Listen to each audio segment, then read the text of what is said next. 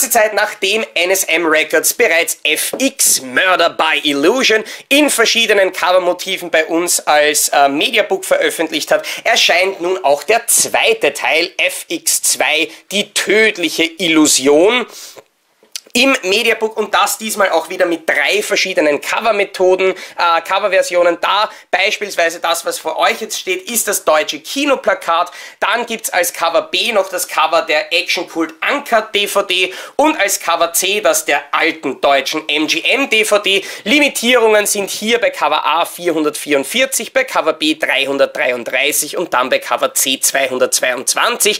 Ich habe mich aber absichtlich hier für das Mediabook mit der höchsten Limitierung Regierung entschieden. Einfach, ich meine, ganz ehrlich, weil das Cover ist freaking awesome. Und passt natürlich durch den gezeichneten Stil auch, finde ich, relativ gut zum Cover des ersten Teils, das ich mir da geholt habe. Nur, äh, im Spine natürlich passen diese beiden Mediabooks dann nicht wirklich zusammen. Einfach, ähm, weil es sich doch um komplett unterschiedliche Cover handelt. Zumindest sind beide auf dieselbe Zahl limitiert.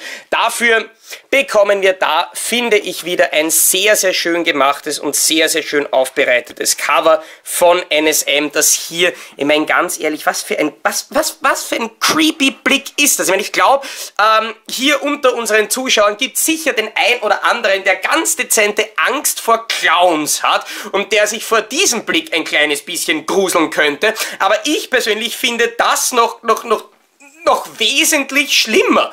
Das ist irgendwie, keine Ahnung, als würde man in Lance Henriksons Charakter aus Alien ähm, dieses bekannte Ron Atkinson Mr. Bean Meme eingepflanzt haben. Keine Ahnung. Das sieht wirklich, wirklich gruselig aus. Da auch quasi als äh, Bedruck von der Blu-ray auf der DVD eben das Covermotiv B von der Action Cult Uncut DVD. Hier, ich glaube mehr oder weniger Cover C, aber da bin ich mir jetzt gar nicht einmal so sicher.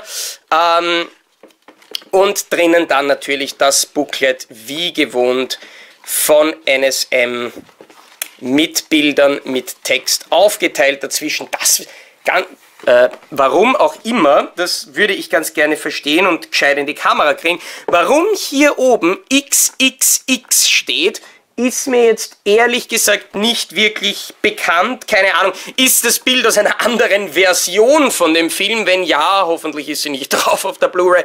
Ähm, was auch immer das designtechnisch also ja, schau wie gruselig, boah.